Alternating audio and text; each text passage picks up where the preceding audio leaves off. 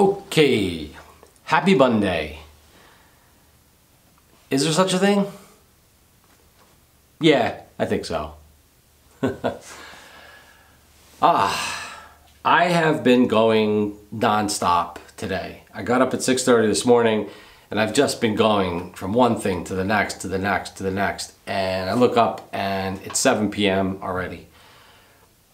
I haven't recorded anything, I haven't thought about putting video together, and yeah, I was like, should I just skip it?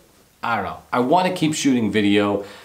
Um, you know, I kind of got onto this little thing I'm doing and it's daily videos and stuff, but I don't foresee my schedule changing much in the next, you know, few days to a week.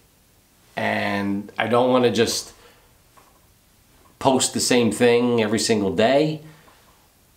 So I don't really know. I don't really know how it's going to work out over the next couple days. I'm just going to kind of play it by ear.